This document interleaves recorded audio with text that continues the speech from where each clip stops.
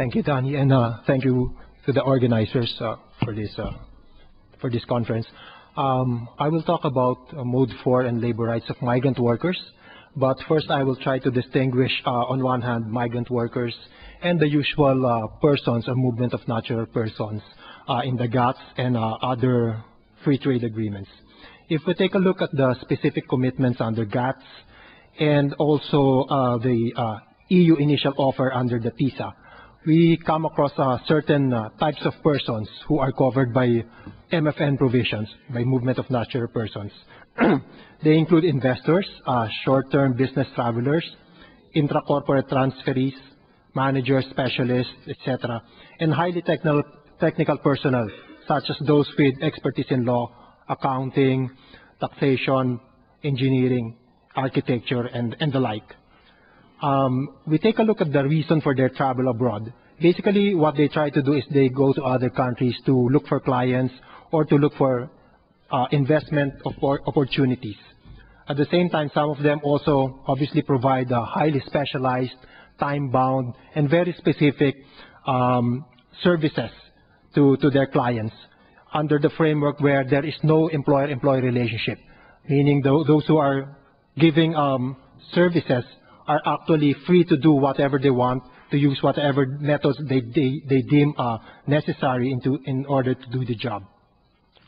Because of the nature of their sojourn abroad and the type of services that they provide, invariably, Mode 4 provisions provide that nothing in the chapter would apply to measures affecting persons seeking access to the employment market, or measures regarding employment on a permanent basis, or to residency or citizenship.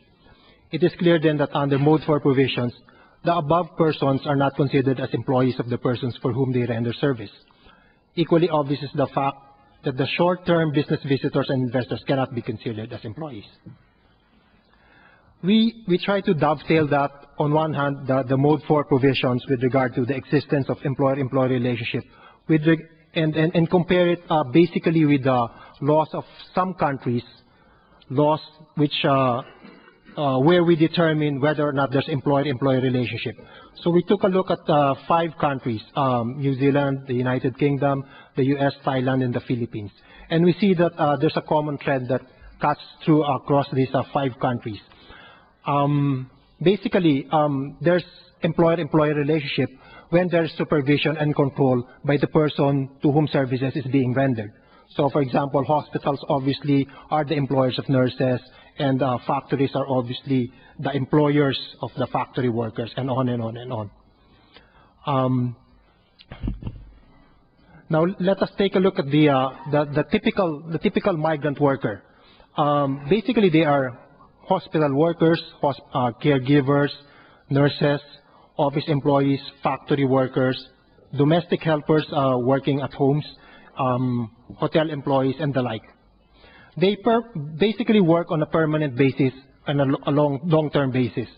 Uh, the, the, migrant workers work in the premises of the employer and under the latter supervision and control, not only with regard to the final outcome, but also with regard to the means and manner by which the work is done. They are then, obviously, when we use the legal framework in those five countries, they're being controlled, they are considered as employees. Now, making them mode 4 persons would mean that they are no longer employees and instead they will be considered as service providers, or some would call them contractual or casual employees. They are then potentially beyond the protection of domestic labor laws because, well, they, they are no longer employees or they're not, they're not, uh, they're not protected by labor standards.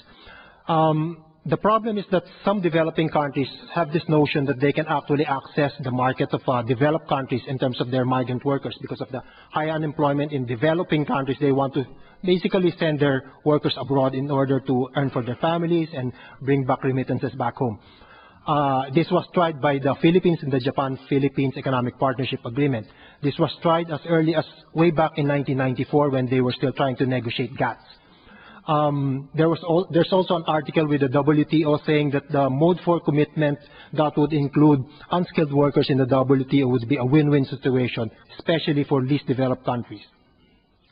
Uh, it is our position, though, that uh, Mode 4 must not include migrant workers, who instead should be protected by labor laws of the host countries. TISA and other labor and uh, other agreements should not govern the deployment, deployment and employment of migrant workers. Neither can any of the provisions of Mode 4 be interpreted to mean that migrant workers who were deployed under such would be considered as contractual employees only. Instead, labor laws of the, labor, of the host countries, not trade agreements, should be used to determine the existence of employer-employer relationship between the migrant and the employer. And if indeed the migrant is considered as employee under the labor law of the host country, all of the provisions of the labor laws should be made applicable to him or her or that person. Um, as Danny has, me has, mentioned earlier on, all of the ILO conventions should apply in any event, including conventions 87 and 98 with regard to right to self-organization, uh, association, and collective bargaining, and perhaps uh, including also the convention affecting migrant workers, including uh, Convention 189, uh, Domestic Workers Convention of uh, 2011. Instead of trying to access the overseas market through Mode 4, sending countries should instead put in place an adequate framework to safeguard the employment of migrants to host countries. Moreover, the sending countries should strengthen the coordination with the host countries, ideally through bilateral labor agreements, in order to ensure that the latter's labor laws apply to migrants, recognize the existence of employer-employee relationship, and safeguard all of the labor core labor standards and labor standards under the ILO. Migrant workers contribute immensely to the economies of the host countries where they work. They deserve protection under the labor laws of the host and should not be relegated to, mere, be, to being merely service providers, under which uh, their so-called contracts would be covered by the default uh, contract laws of the, the host countries we must mention that um, sending countries also benefit obviously from the sacrifices of migrant workers who send much needed resources back home to their families and in fact become the main source of much needed foreign currency remittances in many developing countries. In addition, it, it must also be mentioned that uh, there are social costs to uh, temporary migration for work purposes since families are basically separated from each other. We believe then that it is the obligation of both the receiving state and the sending state to protect the rights of migrant workers. And a good place to start is for countries not to include migrant workers under the TISA. Thank you.